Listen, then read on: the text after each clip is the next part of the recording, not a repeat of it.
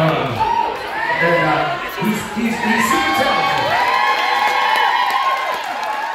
So, so Mason, you're gonna do you're gonna do two two pieces. Now we've heard you do some some of your of your interpretations of Interstellar before, right? You're gonna you got kind of a new some new twists on that you're gonna do too. Cool. And then and then the other one's called Experience. Cool. Which one are you gonna start with? You're gonna start with Experience. All right. So ladies and gentlemen, you Piano Mason.